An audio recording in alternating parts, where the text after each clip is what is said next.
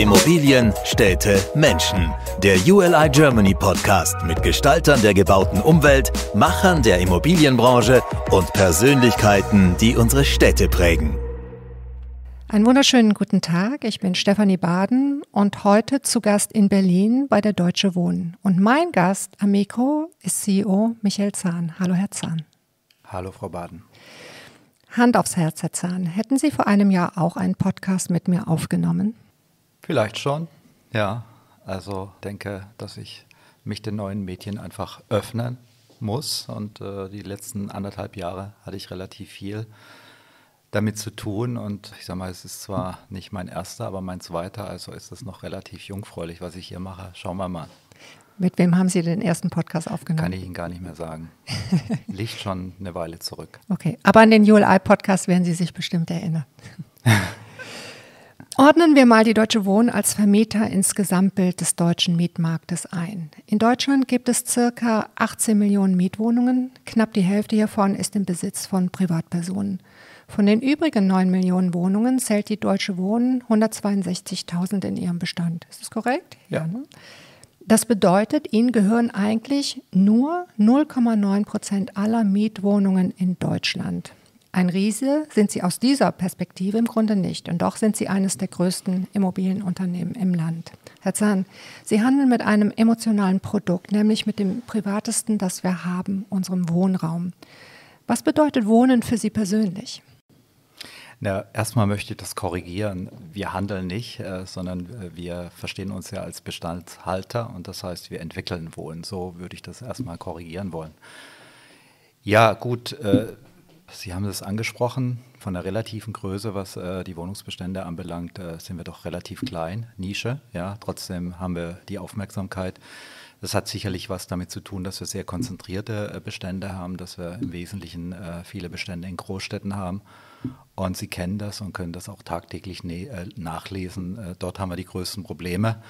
Und dort haben wir in der Zwischenzeit einfach schlicht und ergreifend eine ideologische Diskussion der Gestalt. Äh, kann es sein, dass äh, Wohnen sozusagen als Gut im schlimmsten Fall an der Börse gehandelt äh, werden äh, darf? Und ich sage mal, der Diskussion muss man sich stellen, weil am Ende des Tages, glaube ich, einfach haben wir auch eine gewisse Vorbildfunktion. Am Ende des Tages muss man aber auch sehen, dass das Produkt sehr erfolgreich ist an der Börse. Ja, die eine Geschichte ist, wir sind klein, die andere Geschichte äh, auf der anderen Seite ist, dass wir in Europa die Nummer zwei sind. Äh, wir sehen auch gerade mal wieder jetzt in, in diesem doch äh, sehr, sehr unsicheren Umfeld, dass äh, Wohnen eine Assetklasse ist, die von großen Pensionskassen nachgefragt wird. Und äh, insofern müssen wir ein Stück weit die Balance herstellen. Die Balance, äh, ich sag mal, ich will es mal so umschreiben, Bezahlbarkeit äh, von Wohnen sicherstellen, auf der anderen Seite eine auskömmliche Rendite erwirtschaften. Und das gelingt uns, glaube ich, die letzten Jahre sehr gut und deshalb sind wir so gut positioniert.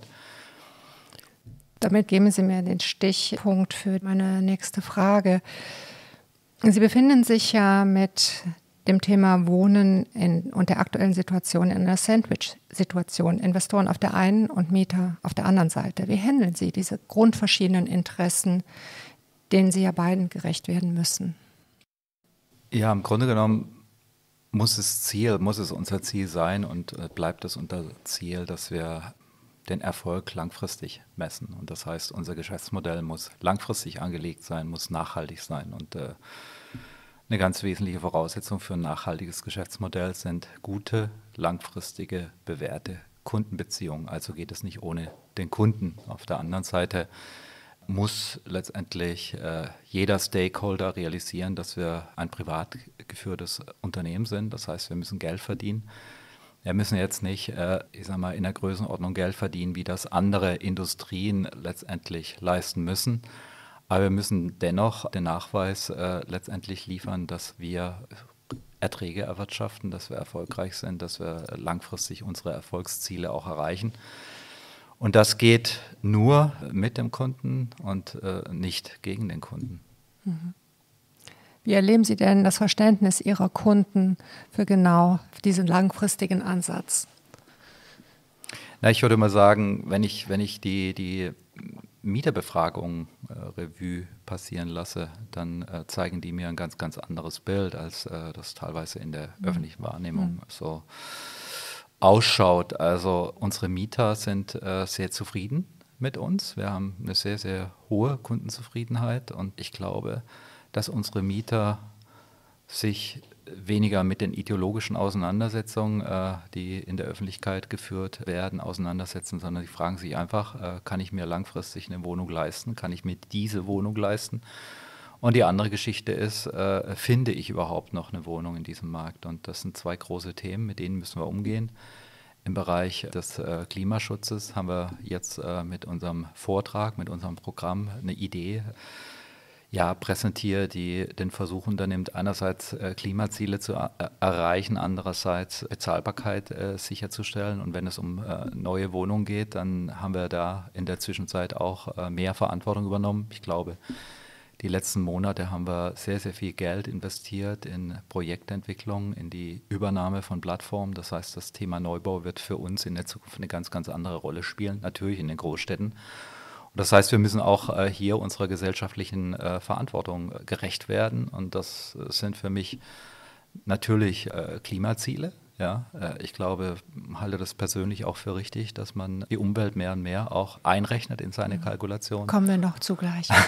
und das andere Thema ist äh, ganz klar, wir, wir müssen äh, mehr Initiative, mehr Kapital in den Neubau investieren, weil es ist leider Gottes so, dass wir zu wenig Angebot haben und dieses zu wenig an Angebot führt natürlich Modell theoretisch äh, zu Preissteigerungen, ja. Und das macht den Mietern äh, oder generell, das macht den Menschen Sorgen. Mhm. Eine Suggestivfrage. Glauben Sie, dass der deutsche respektive der Berliner Mietmarkt überreguliert ist? Generell ist der Mietenmarkt in Deutschland stark reguliert und die Frage ist, brauchen wir mehr Regulierung? Und die Antwort ist äh, nein. Ja, äh, das ist jetzt reflexartig. Äh, was anderes hätten Sie wahrscheinlich von hm. mir auch nicht erwartet. Aber ich glaube schon, dass der Mietenmarkt in Deutschland sehr, sehr stark reguliert ist und äh, viele, viele Aspekte behandelt, äh, die heute, äh, ich sag mal, fast schon plakativ diskutiert werden. Ich glaube, man hat jetzt hier insbesondere in Berlin die Erfahrung machen müssen, dass natürlich Regulierung und, und, und einseitige Regulierung zulasten des Vermieters dazu führt, dass nicht mehr gebaut wird. Und äh, das heißt, man löst mit äh, einer einseitigen Regulierungspolitik nicht die eigentlichen Probleme.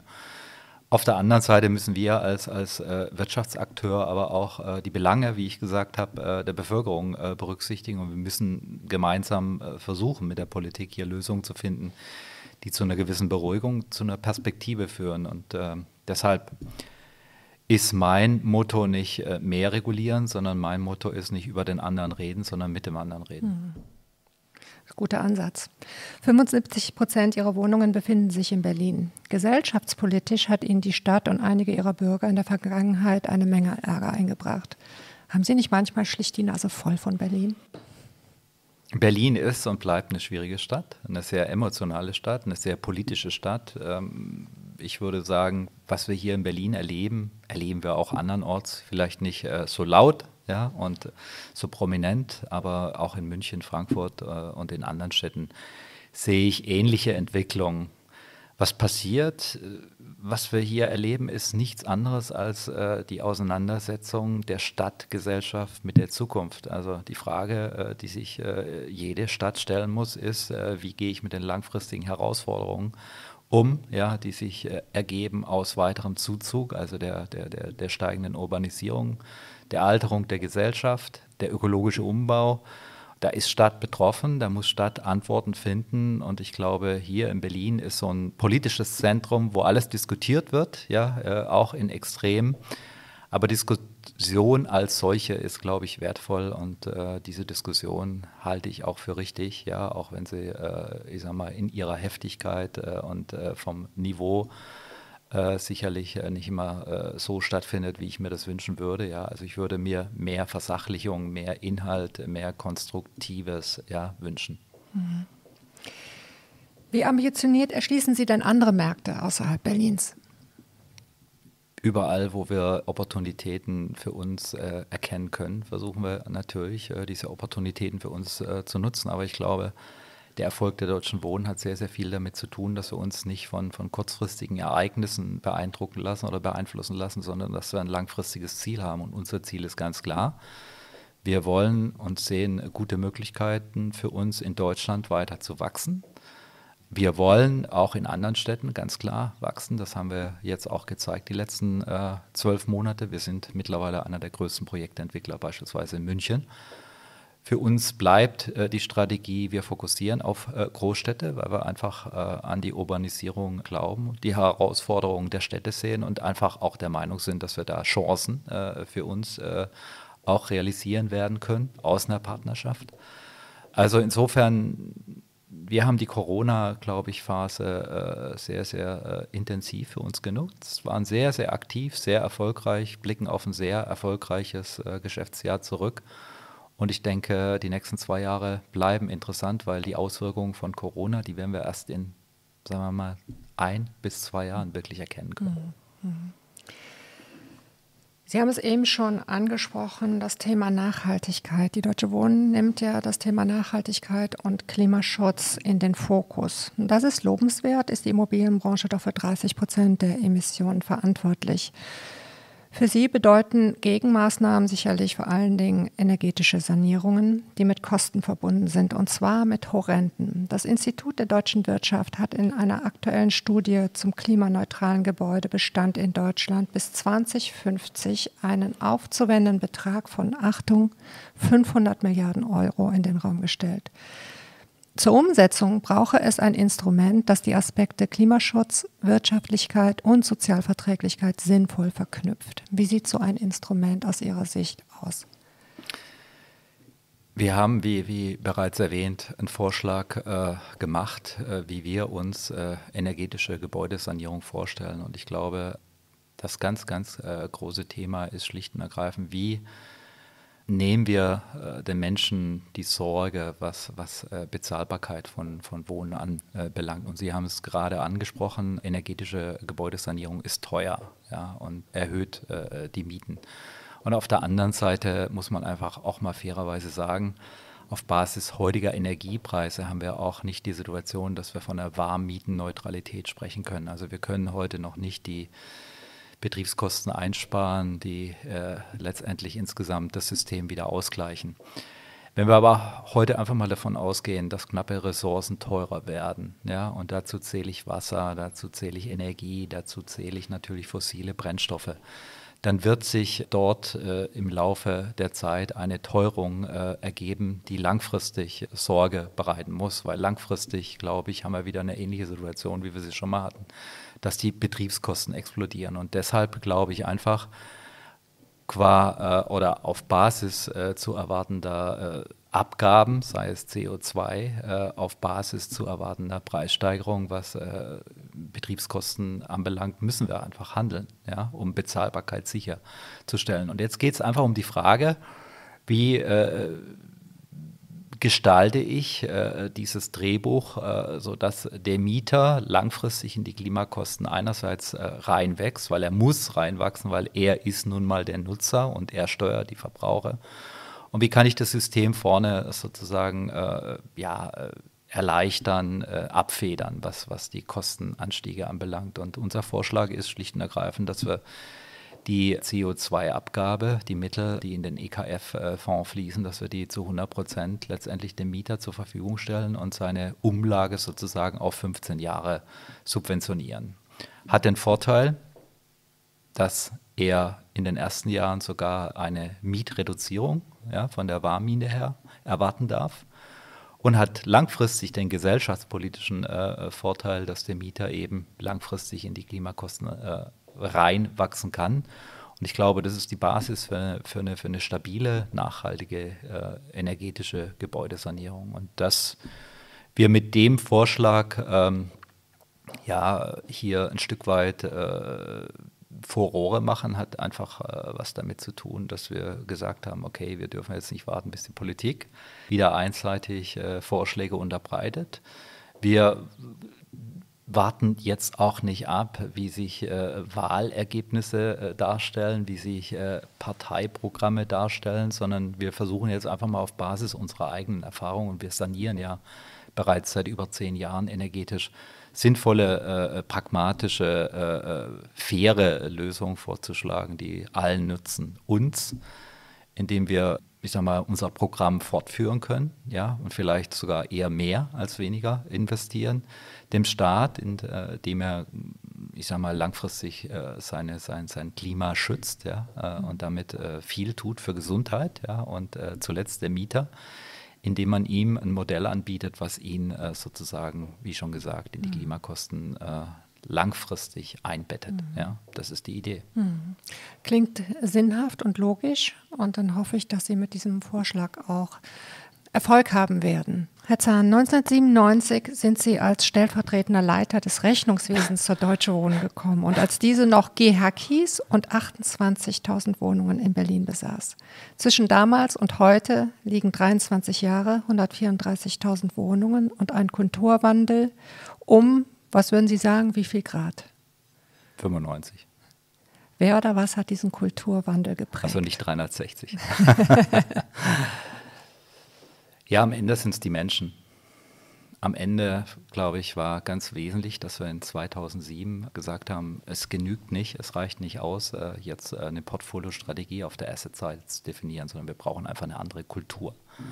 Wir brauchen andere Menschen. Wir, wir, wir müssen das Unternehmen verjüngen. Ja? Wir müssen äh, letztendlich auch äh, mehr, mehr Qualifikation, äh, mehr Motivation ins Unternehmen reinholen. Und die Geschichte der Deutschen Wohnen und der Erfolg der Deutschen Wohnen ist letztendlich äh, der Erfolg der Mitarbeiter. Und äh, klar hat man als CEO äh, hier eine exponierte Position im Unternehmen und muss auch hin und wieder mal die Richtung vorgeben, aber getragen wird das Ganze von Menschen. Und das ist für mich immer noch äh, nach wie vor das Beeindruckendste, dass wir, A, haben wir äh, noch äh, viele Mitarbeiter, die, die mit mir gemeinsam diese, diese Wanderung aufgenommen haben, diesen Anstieg. Ja. Äh, und B, für mich wirklich wichtig ist, dass, dass dass man auch fairerweise jetzt sagen kann, okay, nach zehn Jahren zeigt sich einfach, dass unsere Ideen, unsere Visionen, die wir hatten, dass die nachhaltig sind, dass sie funktionieren, dass sie von Erfolg gekrönt sind. Und das ist, ist einmal ein bisschen die Geschichte, ja. Und deshalb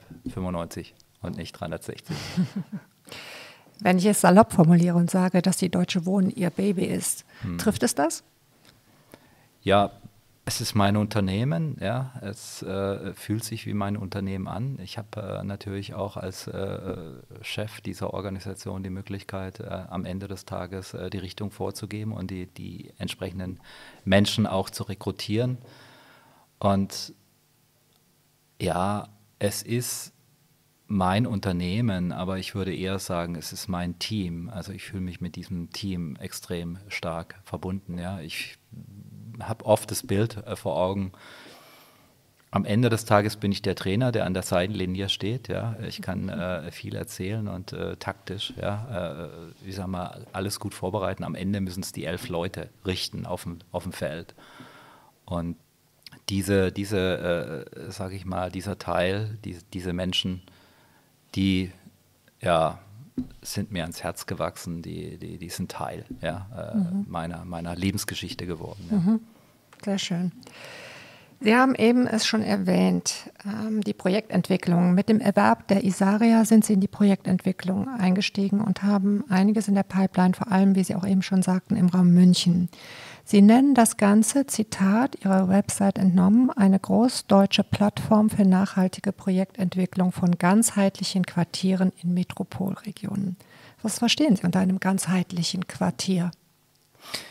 Ja, Erstmal, wie definiert sich Quartier? Also wir sind eben nicht der typische äh, Projektentwickler, äh, der irgendwelche Lücken schließt, ja, also einzelne Gebäude, sondern äh, die größten Projekte, nennen wir mal Dachau.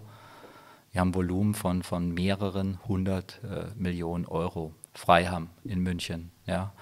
Äh, Kabelwerk in Berlin, Marienhain in Berlin. Das sind Projekte mit über 1000 Wohnungen und äh, das heißt, äh, die, die Frage und die Herausforderung ist da eben nicht nur, wie viele Wohnungen und welche Wohnungen äh, müssen da entstehen, sondern da geht es um Infrastruktur, da geht es um energetische, äh, äh, um Energieversorgung, da geht es um Mobilität, ja.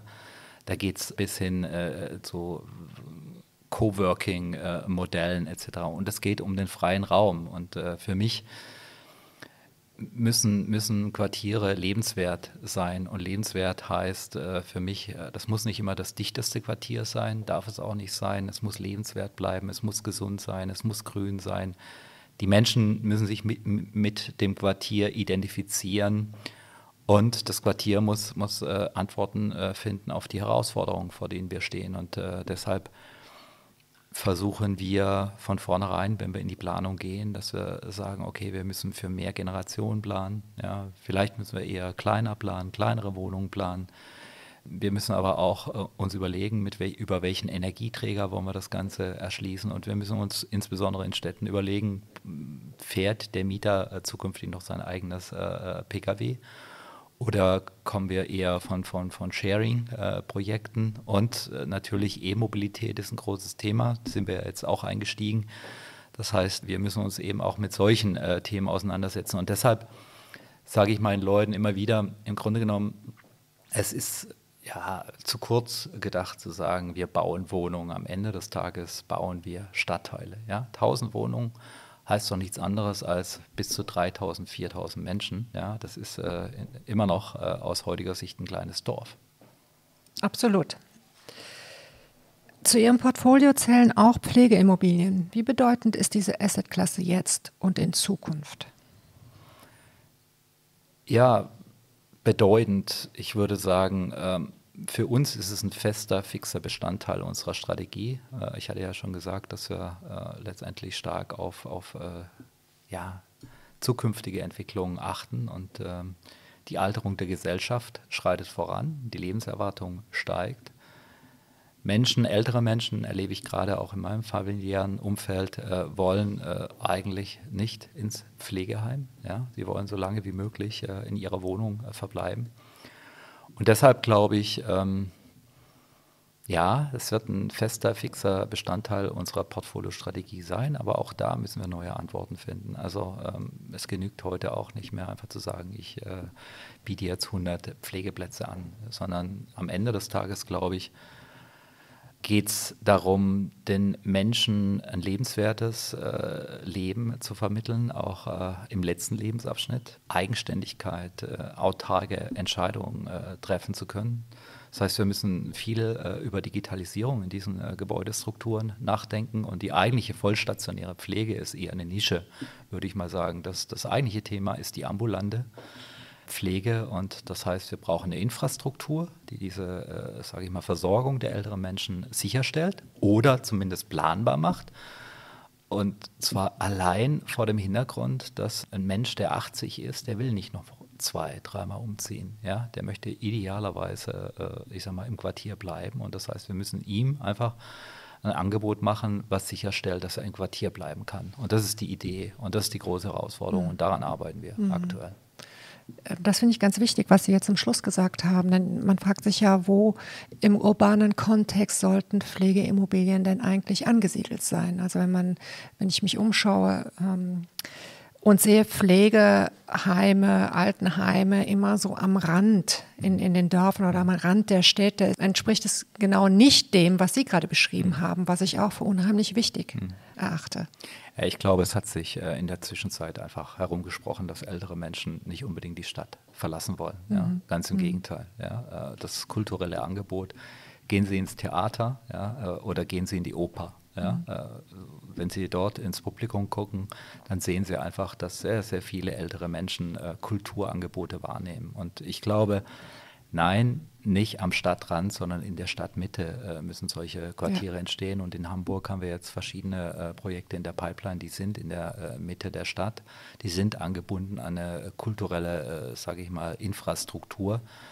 Und wie gesagt, man muss sich einfach ein anderes Bild machen von, von zukünftigen Pflegeheimen. Das sind äh, keine krankenhausähnlichen äh, Einrichtungen, sondern das sind äh, am Ende des Tages äh, sind das Serviceflächen, ja, mhm. die eben auch eine gewisse Infrastruktur anbieten müssen für den Fall, dass äh, der Mensch eben nicht mehr eigenständig ja, mhm.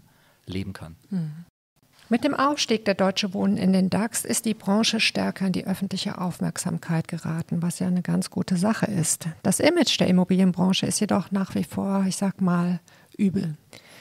Woran liegt das aus Ihrer Sicht und wie ließe es sich verbessern?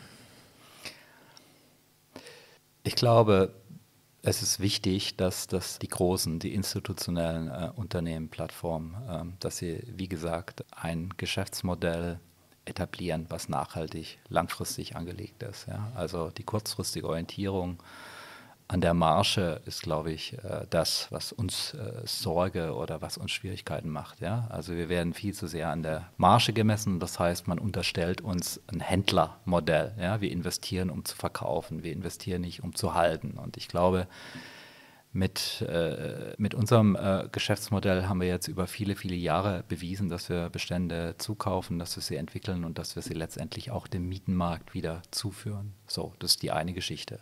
Das heißt, wir müssen an der Langfristigkeit des Geschäftsmodells arbeiten. Wir müssen kommunikativ uns äh, ganz anders aufstellen. Da werden wir gerade erwachsen. Ich glaube, wie in anderen Branchen auch.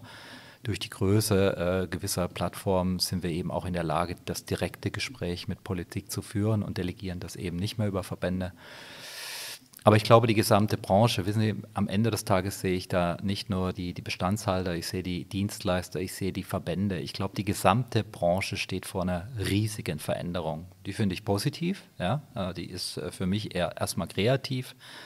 Den Druck äh, verspüre ich, aber ich glaube, am Ende des Tages zählt das Ergebnis, ja. Und äh, wenn ich heute mit der Stadt eine Vereinbarung treffe und sage, okay, äh, ich verpflichte mich äh, für die nächsten 20 Jahre, das äh, zu bestimmten Konditionen am Markt anzubieten und man nach 20 Jahren äh, sehen kann, okay, der hat es gehalten, was er versprochen hat, dann werden wir glaube ich, auch was Reputation anbelangt, gewinnen. Das heißt, es sind die kleinen Schritte. Also ich, ich, ich warne davor, vor, vor, vor irgendwelchen Image-Kampagnen etc., die verpuffen in der Regel. Wir müssen uns einfach vom Kern her, äh, ich sag mal, orientieren an den Herausforderungen, äh, die im Markt bestehen. Wir müssen gesellschaftliche Verantwortung übernehmen. Wir müssen die äh, Angebote machen, die die letztendlich Gesellschaft fordert. Wir müssen äh, Bezahlbarkeit äh, genauso fokussieren wie äh, Dividende. Aber am Ende des Tages, glaube ich, bin ich da insgesamt für die Branche sehr, sehr zuversichtlich, dass wir das schaffen werden. Und die letzten zwei Jahre bei uns zeigen auch, dass wir gute, gute Fortschritte erzielen, dass wir ich sag mal, in vielerlei Hinsicht heute schon viel, viel differenzierter wahrgenommen werden und dass auch gesehen wird, ja, und anerkannt wird, dass wir uns bemühen, ja, und am Ende des Tages geht es um das Bemühen. Mhm. Sie haben gerade gesagt, die gesamte Branche steht vor riesengroßen Veränderungen. Welcher Art sehen Sie sie? Ja, wie, wie gesagt, im, im Neubaugeschäft sich zu reduzieren auf das Thema, ich kann nur wohnen und ich mache nur wohnen, ist zu kurz gedacht. Ich sehe uns als Branche mehr und mehr in der Infrastruktur, ja, in einem Infrastrukturinvestment. Das heißt, ich muss mich um Straßen kümmern, ich muss mich um äh, Versorgung kümmern, ich muss mich um Mobilität kümmern, ich muss mich um Energie kümmern. Und ich muss äh, die Frage stellen, ich sag mal, wie will ich dieses Objekt die nächsten 50, 100 Jahre letztendlich bewirtschaften? Und da sind wir ganz schnell dann bei Co-Working-Modellen, äh, äh, Mehrgeneration, Haushalte etc. Das sind Dinge, glaube ich, die sind neu. Ja? Und mach mal ein Beispiel. Ich glaube, dass wir heute weitestgehend im Neubau immer noch äh, nach alten Schematas bauen. Ich glaube, das Digitalisierungsthema findet im Neubau im Wesentlichen nicht statt. Das halte ich für gefährlich. Wir wissen alle, dass wir in die äh, Gebäudesteuerung kommen müssen, aus unterschiedlichsten Gründen. Wir müssen die, die, die Gebäude intelligenter machen. Ja? Wir müssen den Mieter unterstützen, dass er letztendlich auch mit äh, knappen Ressourcen besser umgeht. Das sind so Dinge, wo ich einfach sage, die Branche steht vor großen Herausforderungen, kann man ja auch tagtäglich äh, nachlesen. Das wird zu einem Wandel führen, den sehe ich allerdings äh, sehr, sehr positiv. Und am Ende des Tages, wenn ich sage, wir entwickeln Quartiere, dann sage ich auch nichts anderes als, wir fokussieren nicht ausschließlich auf Wohnen, sondern da ist natürlich auch immer ein gewerblicher Anteil drin, da ist eine Officefläche da, da drin, äh, viele Aspekte, ja, die es heute zu beachten gilt. Mhm. Herr Zahn, der Vorstand der Deutsche Wohnen ist mit vier Herren besetzt. Der Aufsichtsrat zählt vier Herren und zwei Damen. Damit werden Sie zumindest dem für DAX-Unternehmen vorgeschriebenen Frauenanteil gerecht. Wie stehen Sie zum Thema Frauen in Führung und dem Zusammenhang zwischen Unternehmenserfolg und diversen Führungsteams? Also, Wichtiger als äh, jetzt Aufsichtsrat und Vorstand äh, am Ende des Tages äh, ist doch äh, die Organisation. Also wir beschäftigen äh, hier im Wohnbereich über 1000 Mitarbeiter. Äh, von den 1000 Mitarbeitern sind vier im Vorstand. Das heißt, entscheidend ist doch, fördern wir Frauen im Unternehmen. Das tun wir. Wir haben sehr, sehr viele Frauen in Führungspositionen. Der Anteil liegt bei fast äh, 45 Prozent, was, glaube ich, äh, branchenweit äh, ein sehr, sehr guter Wert ist. Und wir haben generell in der Branche äh, einen sehr, sehr hohen Frauenanteil, der liegt äh, über 60 Prozent. Ähm, ich sage mal, auf Frauen zu verzichten wäre einfach dumm. Ja? Äh, talentierte Frauen zu fördern ist etwas, was, was ich sehr gerne mache und was sich auch bewährt hat. Und äh, im Hinblick auf Vorstand und Aufsichtsrat sage ich mir einfach, wir sollten äh, nicht äh, zu sehr in Quote denken, sondern wir sollten in Kreativität denken, in Fähigkeit denken, in Kultur denken. Und ich glaube schon, dass auch in dieser Branche langfristig mehr Frauen im Vorstand und Aufsichtsrat Platz nehmen werden. Warum? Weil die Branche wird moderner, offener ist bei weitem nicht mehr so, so männlich, wie sie schon mal war vor zehn Jahren. Also auch hier findet Wandel statt. Aber ich bin kein Freund äh, von Quote und ich bin kein Freund von äh, staatlichen Vorgaben. Äh, ich möchte am Ende des Tages äh, ein erfolgreiches Team. Mit den äh, drei anderen Kollegen habe ich im Moment ein hervorragendes Team. Ja? Ich äh, kann mir was Besseres gar nicht vorstellen. Das heißt aber nicht, dass, dass wir uns Frauen verschließen. Ganz im Gegenteil, wir sind da permanent auf der Watchlist. Sehr gut. Die an dieser Stelle normalerweise traditionelle Fußballfrage, die lasse ich jetzt mal weg, denn Schade. Sie haben mir ja schon in einem früheren Gespräch hier im Haus verraten, dass Sie, wer hätte es gedacht, Fan des FC Bayern sind. Interessant finde ich aber, dass ich bei meiner Recherche entdeckt habe, dass Sie Beirat eines äh, Berliner Handballvereins sind. Wie kam es dazu? Ja, da gibt es äh, eine Person, das ist äh, der Bob Hanning, den ich sehr, sehr schätze und der wahrscheinlich was Ähnliches aufgebaut hat äh, mit seinen Berliner Füchsen, ja, wie hier ich äh, mit, der, mit der Deutschen Wohnen. Und äh, er war einfach in einer schwierigen Situation, er hatte keinen Hauptsponsor und ich wollte das Projekt einfach unterstützen. Also habe ich ihm gesagt, okay, ich bin gerne bereit, über eine begrenzte Zeit äh, letztendlich zu helfen in der Hoffnung, in der Hoffnung, äh, dass sich irgendwann ganz, ganz viele Sponsoren finden, äh, die dann Schlange stehen. Naja, die Situation ist heute eine andere. Ne? Sie können sich vorstellen, wie die Situation ist. Ich sage mal, für mich ist der Breitensport einfach wichtig, ja, und mhm. Basis äh, mhm. für unser äh, Engagement und jetzt äh, den Profifußball äh, zu unterstützen, halte ich einfach für einen Schmarrn. Ja? Das machen äh, viele andere. Ich bin großer Fan von, von Breitensport, von Olympiade. Ich liebe Handball, ich liebe aber genauso Hockey, ich liebe Kunstturnen, ich liebe Schwimmen. Und wenn ich sehe, was äh, diese Menschen dort leisten müssen und mit wie wenig äh, und äh, in welchen schwierigen Situationen sich das Ganze entwickeln muss, dann ist es einfach nur richtig, dass wir uns da, äh, ich sag mal, abseits vom Fußball engagieren. Mhm. Ich habe schon gedacht, Sie hätten früher mal Handball gespielt und habe Sie so als Kreisläufer gesehen. Aha, okay. Haben Sie aber nicht. Nee, ich glaube, selbst als äh, Kreisläufer wäre ich äh, zu, zu klein ja, äh, heute. Nein, ähm, wie gesagt, wir unterstützen ja auch äh, den Olympiastützpunkt. Wir äh, haben die Ruderer unterstützt. Also ganz klares Anliegen dort zu unterstützen, wo Hilfe direkt ankommt. Mhm. Ja, und äh, ich finde einfach die Unsummen, die bezahlt werden im Profifußball und die Ablösesummen, die finde ich äh, sowas von dekadent. Ja, dass ich mir einfach sage, okay, also das ist nicht mein Geschäftsmodell und das ist äh, auch nicht ja, meine, meine Überzeugung. Ja. Mhm. Aber Fußballfan sind Sie auf jeden Fall. Immer und bleibe ich auch immer. Wunderbar, Herr Zahn. Ich bedanke mich herzlich für das Gespräch und wünsche Ihnen auch weiter viel Erfolg mit Ihrer Deutsche Wohnen. Sehr gerne, hat Spaß gemacht. Danke. danke. Ich danke auch den Zuhörern und freue mich dann auf die nächste Podcast-Ausgabe. Tschüss.